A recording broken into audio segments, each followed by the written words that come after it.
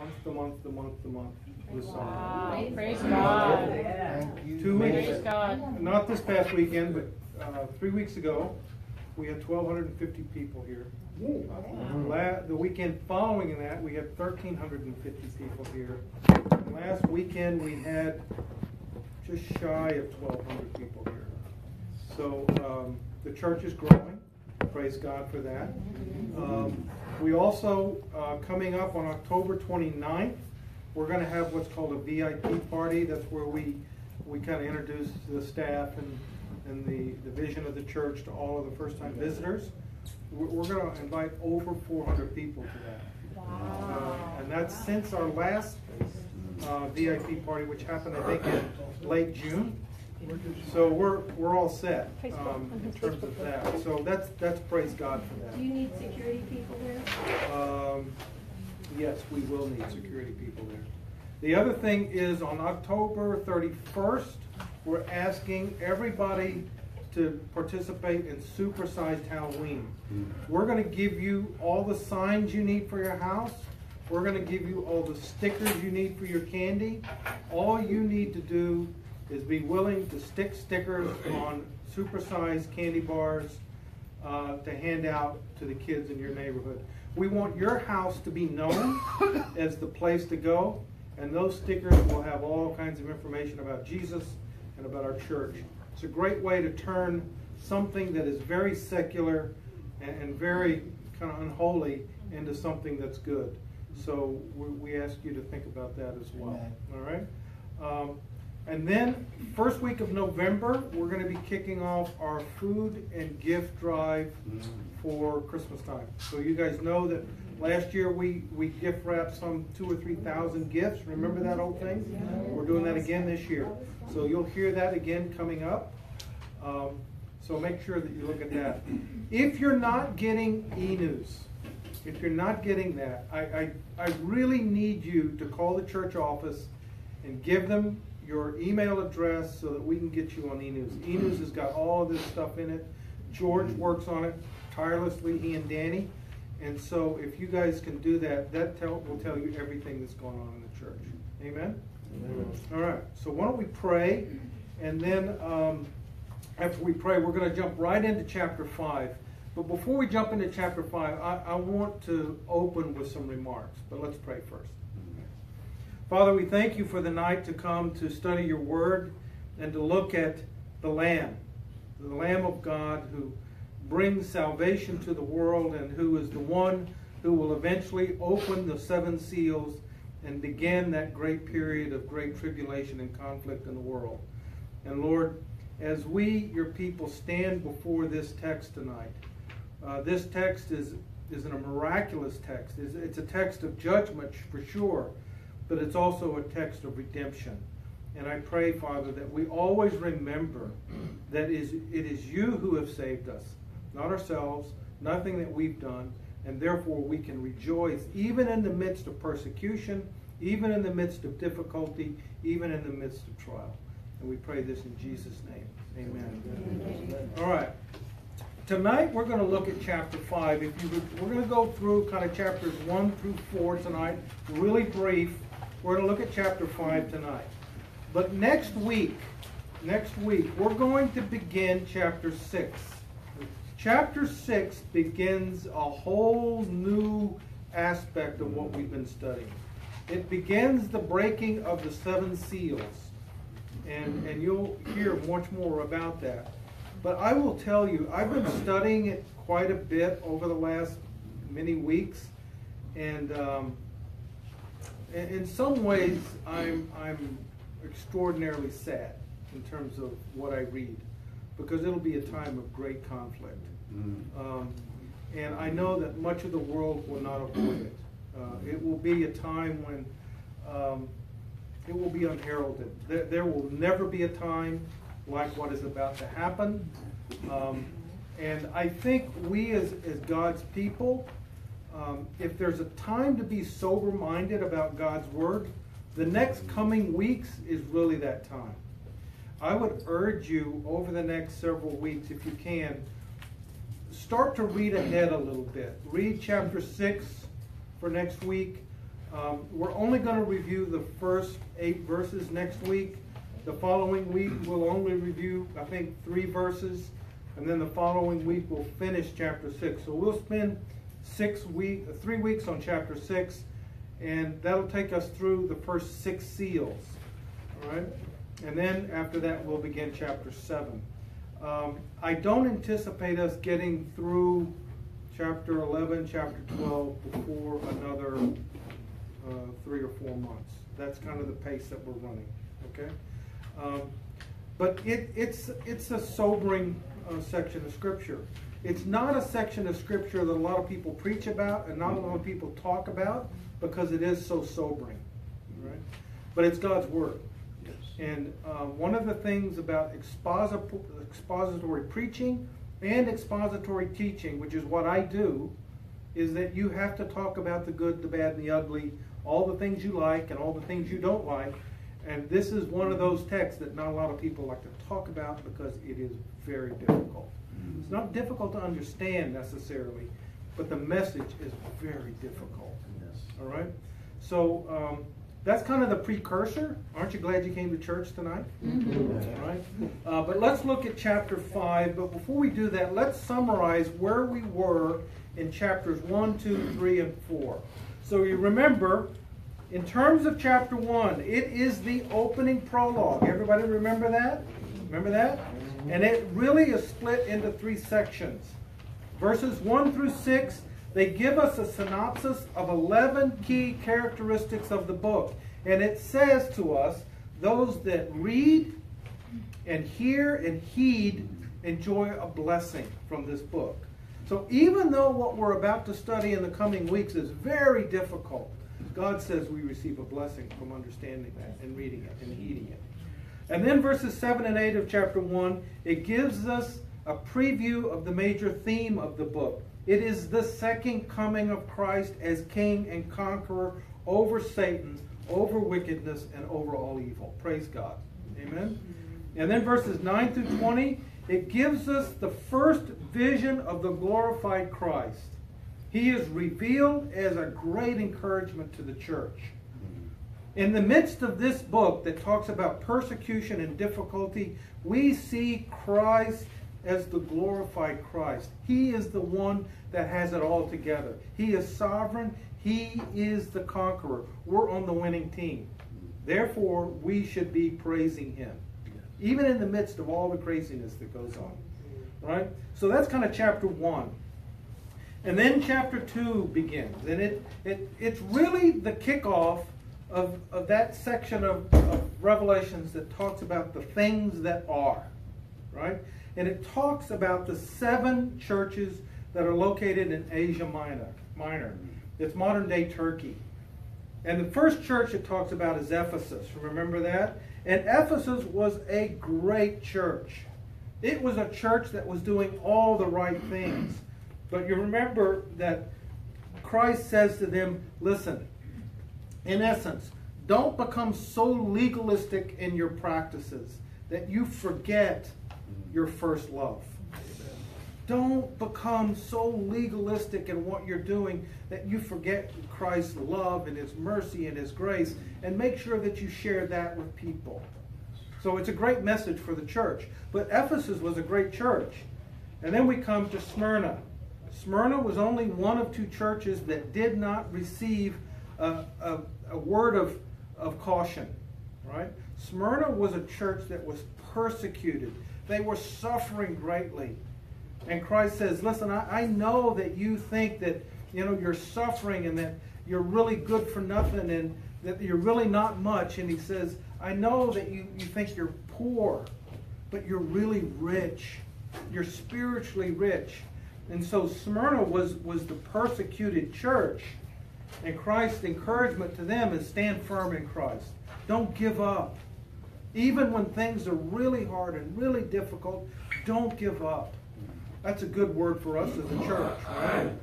Because when things get tired, either for a church or they get difficult for the church or even us as individuals, what's God's word to us? Don't give up. He is still our Savior. He is still our King. He is still can do all things. So that, that's a good word. And then Pergamum comes along. And it's a church that compromised with the world through false teaching. It allowed false teaching to start to work its way into the church. And there were problems as a result of that. And God says to that church, return to God's word.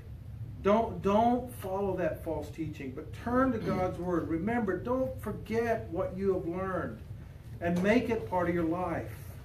And so that, that was a, one of those churches that received a warning from Christ.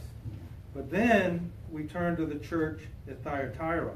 And you recall that that was a church that tolerated sin within its midst. In fact, the language of that, of the Greek in that, that section of Scripture, means that the writer is writing to the leadership of that church. They're writing to the pastors of that church. It was the pastors that were tolerating sin in its midst. And when the head of the body allows that to occur, what happens to the body as a whole? It just gets sick, right? And that's what happened. That's what was going on. And Christ says to them, Be steadfast in your commitment to Christ. Don't, don't turn away from your commitment to Him and His teaching. So that's kind of the summary of chapter 2. It's, it's the first four churches where he covers the things that are. And then he picks up with the last three churches in chapter 3. And you remember the first of those is Sardis. Now, Sardis was an interesting church. It was a church that had a name for being alive, but they were really what? Dead. Dead. So they looked good on the outside. They were dressed in their Sunday meeting clothes. They were doing all the right stuff. But what was happening?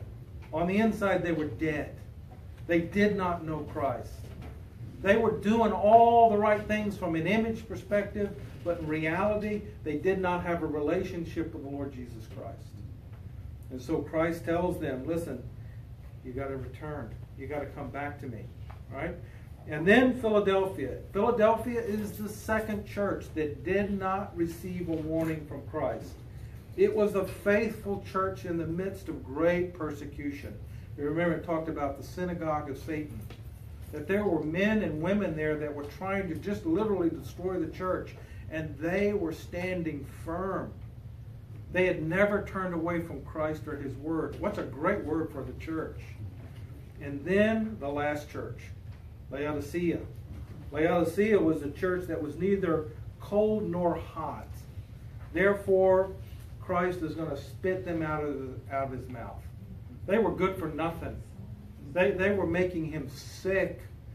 And even, you recall, when we studied that, we see this, this letter to this church that is so difficult. It's so hard. It's so full of uh, just commendation about what you're not doing right. But then Christ says, I stand at the door and knock. Right? So even in the midst of that, Christ is coming to the church and he's saying, Listen, I know that you're off target, that you're not following me, but I'm standing at the door and knock, and I want to come in and be with you. It is a great word of Christ's desire to, to restore and, and to renew that church. What's interesting is all it would have taken is one person to open the door. That's all it would have taken. And yet we see no sign of that. Right? And and those of us who have friends and, and family members and, and co-workers and neighbors that we've shared Christ with and and they just seem so hard, they seem to see so standoffish. I would say to you, remember, Christ is standing at the door and he's still knocking. You never know what the Holy Spirit is doing behind the scenes. So continue to stand at the door. Continue to pray for them because Christ can do miraculous things, even when we think it looks bleak and that there's no point of even continuing. So I, I, even though that's a that tough message for that church, I think there's a ray of hope in the clouds for that one, right? And then we turn to chapter 4. Now, chapter 4 and chapter 5 begin another prologue to what's about to kick off in chapter 6 through 22. So, chapter 4, you remember, was the vision of heaven. Remember that last week?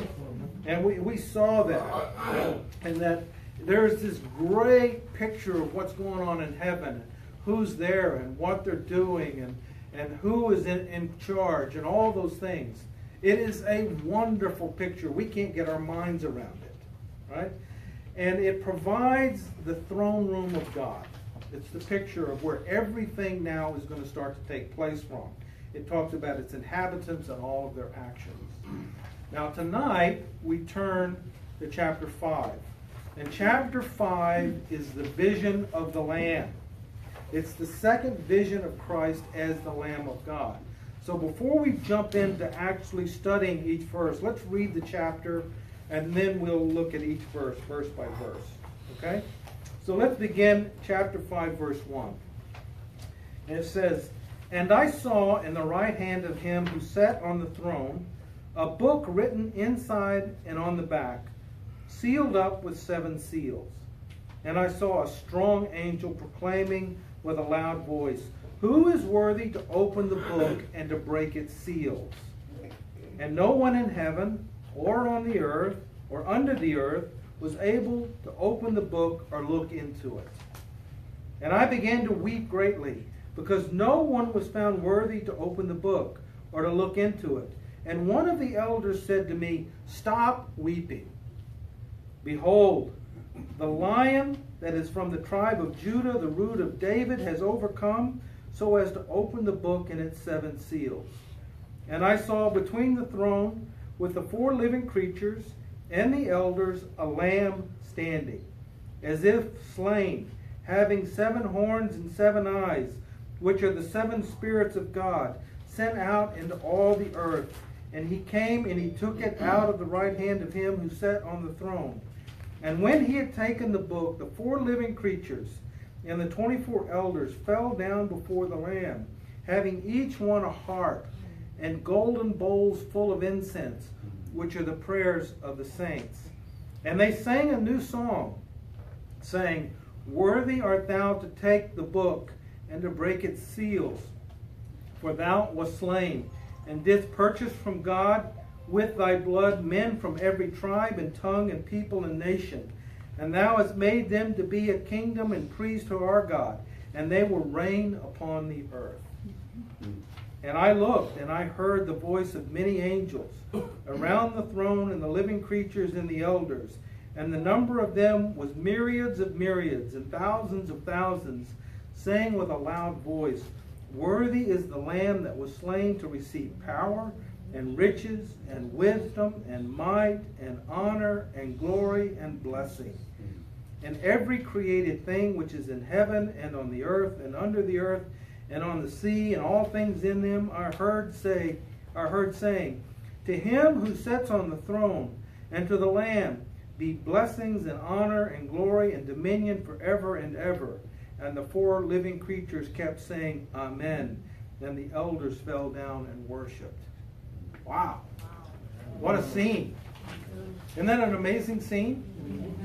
So here's what we see as a kind of a an overarching picture of this chapter. We see that Christ is presented as the rightful owner of all creation who's about to redeem the world from sin and from Satan and from evil and death.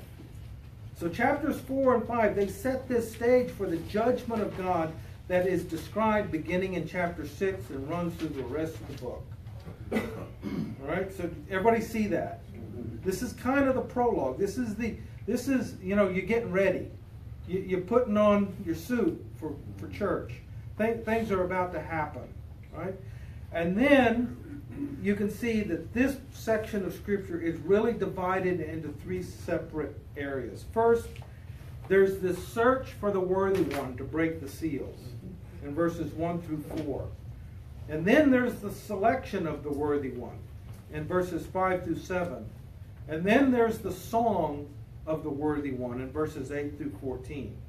And remember, we saw songs back in chapter 4, right? Remember that? Mm-hmm. So now this is going to continue here in this, this section, this chapter. So let's look at verse 1. It says, And I saw when the Lamb broke one of the seven seals, and I heard one of the four living creatures saying, as with a, a voice, Uh, I'm sorry, chapter Wait, wait, 5. wait. I was on chapter 6, sorry. And I saw in the right hand of him who sat on the throne a book written inside and on the back, sealed up with the seven seals. So, John is established as an eyewitness to the scene of the land. Did you notice that? That he is actually there. That word I saw in the Greek is literally I looked. So he's there. He's an eyewitness to what's about to happen. And he sees he who sat on the throne, that's God himself. Right? John sees God himself. It's a staggering picture. I don't think we've seen that before, right? So it, it's an amazing picture. And then he's given a book. In the Greek, it's literally biblion. And it literally means a scroll. Okay? And, and you'll see that again in Revelation 6, verse 14, that same exact phrase. And then it says that this scroll is written on the inside and on the back, and it's sealed with seven seals. So this is not a will, this is not a contract, but, but it's, it's a deed. It's a deed, all right? Roman contracts and deeds included writings on the inside and on the outside, right? And they had seven seals. So John is, is giving them an image of, uh, of what is they knew of in that day and time. Ezekiel, he saw this exact same vision all the way back in Ezekiel chapter 2, verses 9 through 10. Right? Jewish title and deeds in that day and time, they were folded and they were signed requiring at least three signatures on the flaps. And a portion of the title deed would be written on each flap with a written signature on that flap. We see that picture in Jeremiah 32. So this is more like the Roman picture, okay? The scroll in chapter 5 is a title deed to the earth and all of its creation. Right? It describes how Christ is going to begin to regain his rightful inheritance of all creation.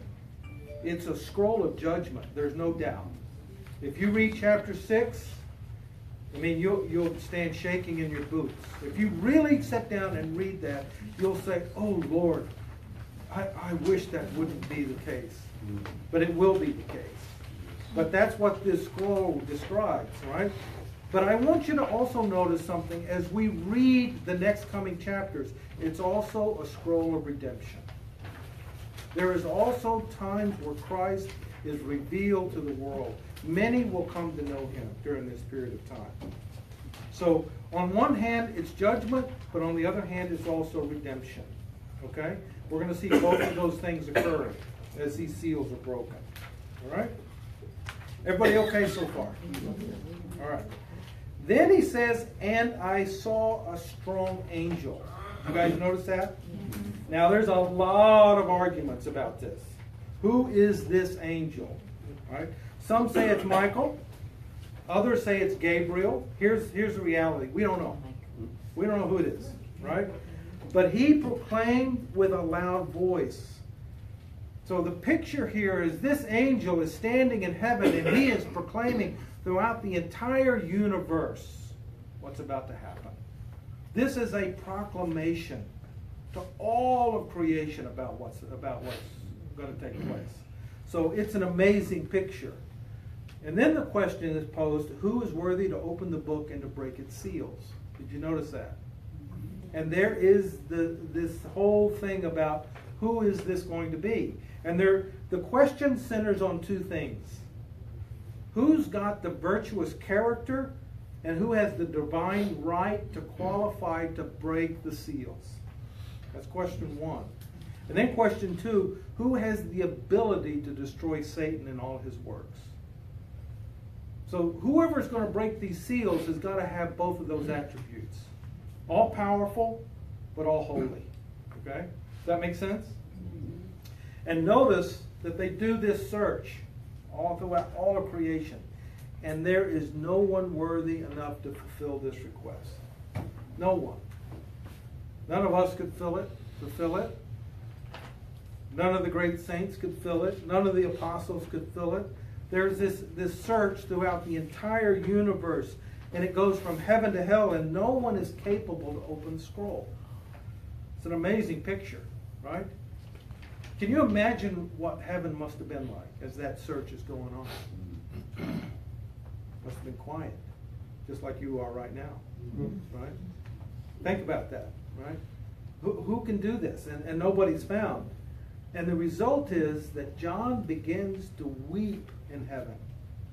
And, and literally, that, that, that weeping of John is over the possibility that evil and Satan and wickedness, they're, they're going to they're gonna win. That, that there's no one found to open this scroll. John's weeping, it's cer- certainly it's sincere, but it's premature, right? Uh, this is the only time we see tears in heaven, by the way. No other time in all of Scripture do we see tears in heaven. And John is weeping over the possibility of wickedness reigning. Right? And this word weep is literally this word strong, unrestrained, unrestrained emotion. So it's the same word that we see when Jesus weeps over Jerusalem. You remember that? Mm-hmm. That he wept over Jerusalem. It's the same word when Peter wept when he betrayed Jesus. Mm-hmm. It's uncontrolled weeping. Have, have you ever experienced somebody that goes through that? Mm-hmm. Yeah, it's almost unconsolable, right? And so that's the picture that we see John going through here. This is not just a little boohooing. John, John is just literally broken over this. And so he, he's just weeping. But because he's premature in his weeping, notice what one of the elders says. He says, Stop weeping. There, there's no, you know, weep a little bit more. It's okay. It's going to be okay. What does he say? He says, Stop. It's immediate. Don't continue. Right? And, and he gives this command. He says, Behold. You know what I'm saying? In other words, when you see that word behold, something important is about to happen. So stop weeping, behold, right? And the elder, he was aware that there is one who is able to break the seals and open the scroll. And who is that? Jesus. It's Jesus Christ himself. And notice he, he's proclaimed by two messianic titles in these verses. The first one is he is the line that is from the tribe of Judah. Notice that? Mm-hmm. All right. That's taken all the way back to Genesis 49, verses 8 through 10, and it's derived from Jacob's blessings on the tribe of Judah. But then he recalls, calls him a second title. He says, the root of David.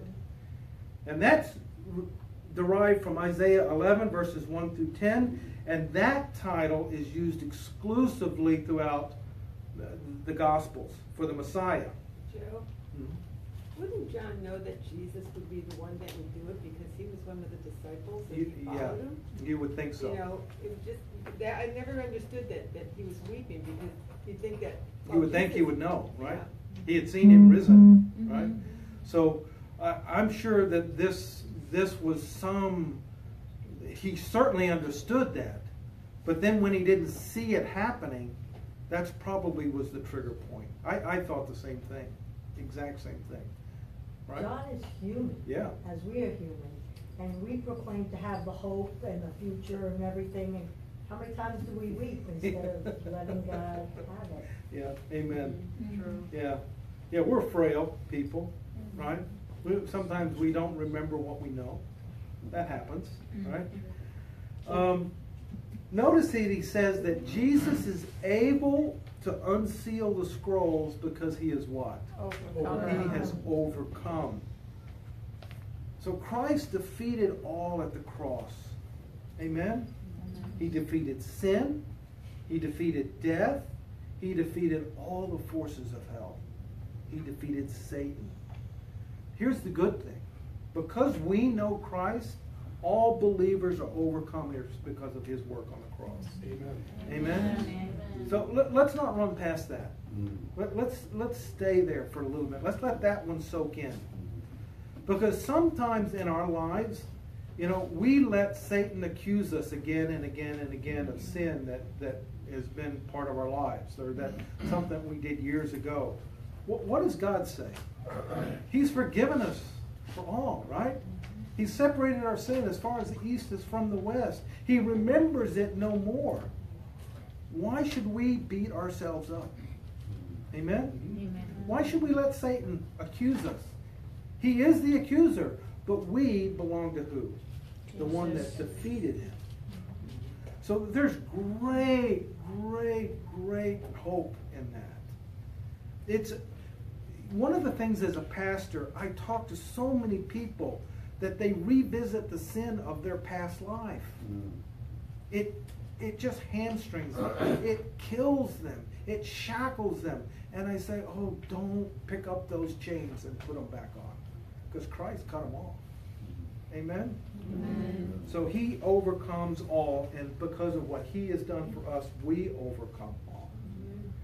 Great word, right? But then notice that Jesus is described as a lamb, not as a lion. Did you notice that? He gives him the title of a lion from the tribe of Judah, but then he's described as a lamb. Right? So he had to be the lamb before he could be the lion of judgment of the world. He had to do that. He had to go to the cross. Now, lamb here is an interesting word. It literally means little lamb. And it's referring back to the Passover lamb that, that was purchased by families. That lamb would live with the family for four days from the time of purchase to the time of sacrifice.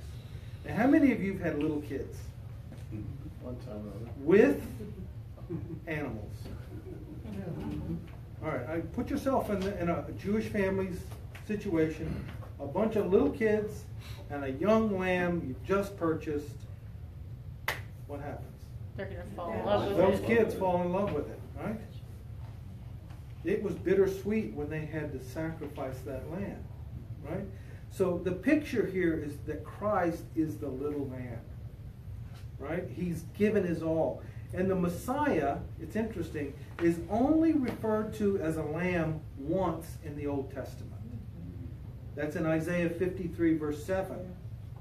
And only four times outside of Revelation as the lamb. That's in John 129, John 136, Acts 832, and 1 Peter 119. But then we come to the book of Revelation. And Christ is referred to as the Lamb over 31 times. He is the Savior.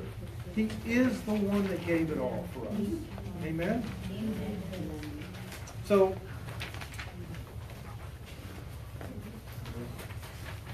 notice also that this is no ordinary slain lamb. What happens when you slay a lamb? What happens? They die. Yes. They die, right? But he's not dead. He is standing looking as if he had been slain. In other words, he's resurrected. Amen?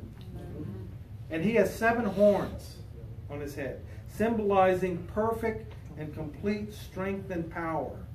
Right? He has the power to overcome all wickedness and all evil. Seven is the number of what? Completeness. Perfection, right? He has seven eyes, symbolizing that he has got complete and perfect omniscience and complete and perfect knowledge and understanding. And notice the direct linkage between the eyes to the Holy Spirit and to the seven spirits of God. Did you notice that? Yes. So you want pictures of Trinitarian work? There it is, right there. Right? You've got God on the throne, you've got Son, the Lamb, you've got the Holy Spirit. Seven spirits of God. There it is. Right? Nowhere in Scripture will you see the word Trinity, but you see it all the time, all the way through. Right? And he searches the entire world to carry out his judgment and watch over evil. Amen? Mm-hmm. So nothing can get past him. Can I ask a question? Yeah. The seven spirits of God, I might have missed something you said. What are the seven spirits of God? It's the perfection, the Oh, okay. completeness. Yeah, yeah, that's what it's talking about. All right? So look at verse 7. Verse 7 says this And he came and he took it out of the right hand of him who sat on the throne. This is the culmination of chapters 4 and 5. Right? He comes and he takes the book himself. It demonstrates his ability to break those seals and to begin the final judgment that we're going to see play out in chapter 6 all the way through. Now, this is the same scene that we see back in Daniel chapter 7, verses 13 through 14. Even though the scroll is not explicitly mentioned there, it's the same exact scene. All right? I'm confused again. Is, who sat on the throne, wasn't that Jesus? It's, this is God the. Father. But, Yeah. All right? So, look at verses 8 through 14. This is where they begin the song of the worthy one. So the lambs, the lamb's act of taking the scroll causes all of heaven to break out in praise. Do you notice that? Right? All heaven realizes what's about to happen. They're all excited that, that Satan is about to be destroyed, that evil is going to be uh, vindicated, that, that death is no longer going to be reigning. All of heaven breaks out in a song. And the believing remnant of Israel will be saved, and the church is going to be exalted and honored hmm. in the midst of all of this. And Christ is about to return to earth to, to claim his rightful throne and to begin his thousand year reign. So there is all of this stuff that's happening, and, and all of heaven begins to realize what's about to occur. Have you ever been in a situation where it looks bleak and difficult and hard and terrible, and then all of a sudden things change in an instant? Have you ever been there? What, what do you do? praise God. You praise God, right? Mm-hmm. Now, Ron is not here yet. He's at another meeting. But Ron, most of you don't may not know this, but Ron had throat cancer several years ago. And he was having some similar signs to when he had throat cancer this past couple of weeks. He went in today to have a test to see what was going on. They found nothing. Praise God. So Ron was bouncing off the walls in here earlier when all, none of you were here. He's going crazy. He's excited. Praise God, right? So no wonder uh, heaven is breaking out in praise because this is a good thing. But no, notice that th- this praise it's spontaneous and it accelerates into a crescendo of worship. And there are three doxologies in this text that are added to those that are in chapter 4. Right? The four living creatures and the 24 elders, they fall down before who? Lamb. The Lamb. They fall down before Christ. Right? And they did th- that earlier when they fell down before the Ancient of Days. You remember that back in chapter 4, verse 10? It signals that Christ is God, since only God can be worshiped. Amen? And notice that the elders were holding two things. Now, there's been a lot of confusion over this. Some people say that, you know, it's the four creatures that are holding these things. The Greek gives us the, the, the true meaning. It's the elders that are holding these two items. First, they're holding harps. Did you notice that? There are, harps are associ- associated with two things in Scripture. First, they're associated with worship. We see that in Scripture all the time. But the second thing they're associated with is prophecy. Right? And then they're holding golden bowls of incense. And that's associated with the prayers of the saints. Right? And it, it, they're using this Old Testament imagery that symbolizes the priestly work of intercession and the prayers of the saints. Right?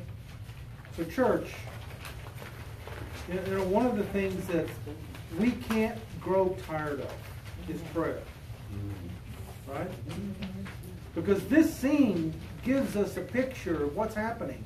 Our prayers are going up before the throne of God. Amen? Amen. So let's not forget that. Right? That's easy to forget. especially when things are hard and difficult. I don't know if you're like me, sometimes my head just shuts down. My heart shuts down, and I forget that I can bring all things to Him. So let's, let's not do that. And then it says that they sang a new song. Did you see that? Mm-hmm. Note that nowhere in the Bible, nowhere in the Bible are angels described as singing. The only possible exception is in Job 38 7.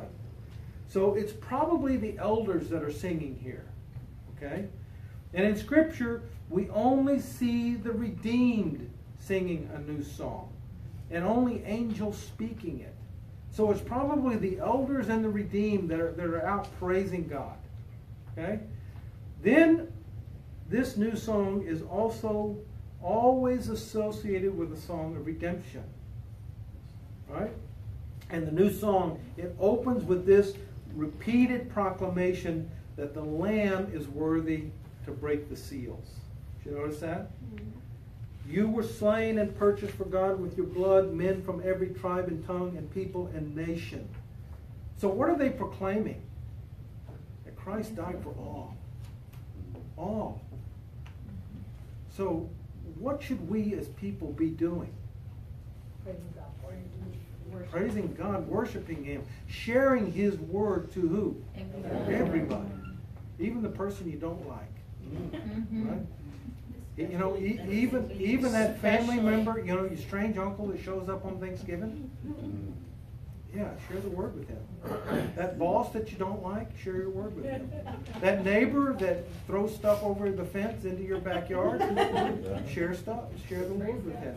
Praise God. I mean, you know, Christ died for all. We are to share Christ with all. Amen. Amen. This word purchase that he uses here, it's literally the word that's meant for the redemptions of slaves in the marketplace, and then they're set free. Who, who are non Christians slave to? Sin. Sin, Satan. Ephesians chapter 2 is very clear that we, before we knew Christ, we were in enmity with God. We were slaves of Satan. So that's what he, the picture here is that we have been purchased. We are now free. Praise God. Amen. Amen. And then he says, You have made them to be a kingdom and priests to our God, and they will what? Reign. Reign upon the earth. Who's he talking about? Us. Us. Do you notice that? We're all priests. Right? Everybody. There's no gender restriction on this one, gang. Amen. Amen? Amen. Right? We'll all reign on earth. There's no restriction on that. It's those who know God. It says there's a kingdom, right? It's a community of believers under God's sovereign rule. We are priests to our God. We have complete and total access to God Himself. Amen. And we reign upon the earth. We will reign with Christ in His millennium. Praise God. Wow. Praise the Isn't that amazing? Amen. So do you, do you see, even though this book is a book of great trouble many times, do you see the great encouragement mm-hmm. in the midst of it?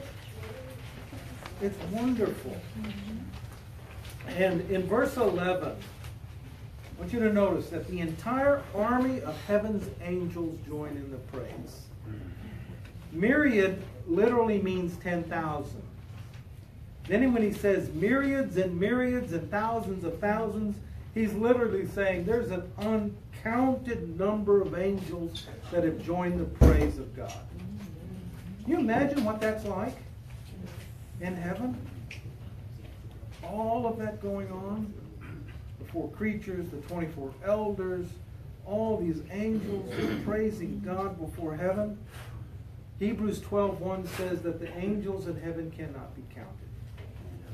Right? Revelations 12, through 4 says that heaven's angels are twice the number of Satan's angels. And they can't be counted. Amen? Amen. They praise Christ. that his death provided redemption, that he has the right to power, the rightful power to fulfill God's plan. And that his riches become because all creation belongs to him. Everything belongs to Christ. Praise God. And his wisdom and omniscience because he knows the beginning from the end. He knows it all. Nothing's going to catch him by surprise. Amen. Then all creation joins in praising Christ for endless blessings, honor, glory, and worship. You can see the Psalms there Psalm 69, Psalm 150. They all reveal and they all tell that all of creation praises God. Right? And then the chapter ends with this word it says, Amen. It literally means, let it be, make it happen. Right? So, we read this chapter so many times, we run past it. We, we forget to, to look at it in depth. But there is so much here to be of such good encouragement to us, even in the midst of trial and tribulation. Right? So tonight, we've got three questions for you to, to begin to discuss. First, the picture in chapter 5 is that there's only one able to open the seals. How would you explain this as the gospel to an unbelieving friend?